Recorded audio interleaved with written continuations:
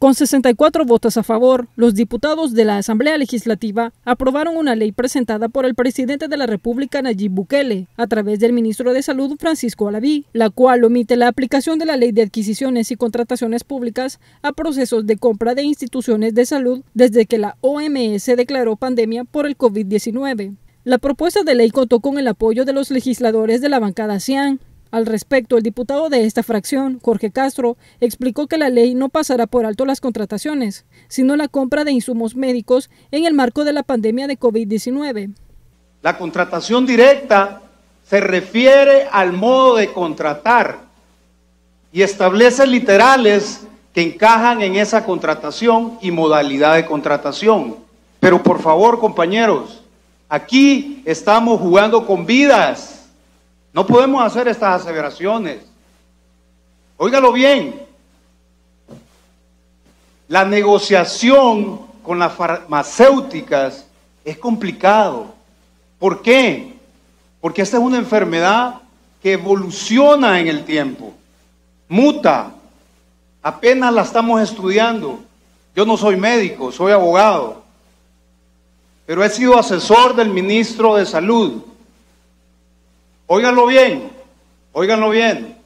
Es irresponsable hablar de modalidades de contratación. Sin embargo, el diputado de Arena, Rodrigo Ávila, dijo que la ley aprobada debió haber sido puesta a discusión en la Comisión de Salud Pública, pues consideró que parece una especie de borrón a todas las irregularidades que se dieron durante el manejo de la pandemia. Es una ley que debería haber sido discutida dentro de la de la Comisión de, la comisión de, Salud Pública. Porque primero aquí se está mezclando el tema de la gestión de servicios médicos con el tema administrativo.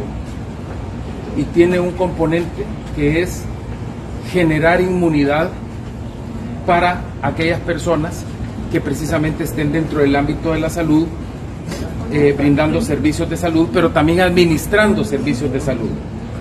Entonces aquí casi que esto fuera como una especie de licencia, una especie de... Eh,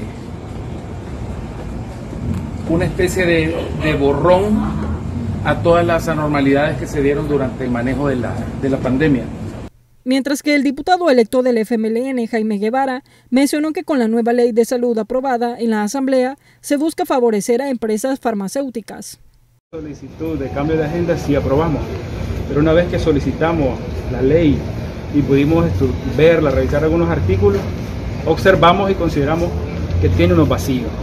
Y el trasfondo es, a nuestro juicio, de que aquí se va a beneficiar a un sector tiene que ver con las farmacéuticas, tiene que ver con un sector económico, pero que al mismo tiempo deja a la libertad o deja al descubierto los derechos del pueblo salvadoreño.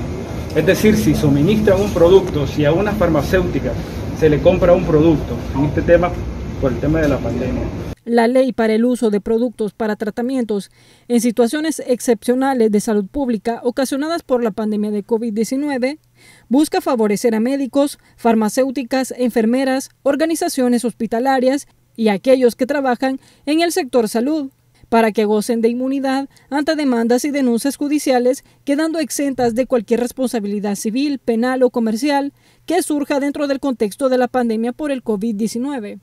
Para ITV Noticias, Sofía Mazariego.